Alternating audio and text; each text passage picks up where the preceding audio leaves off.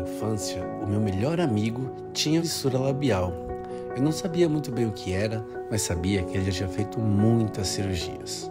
Durante a faculdade, eu tive contato com alguns pacientes de fissura. Achava muito complexo e não acreditava ser capaz de atendê-los.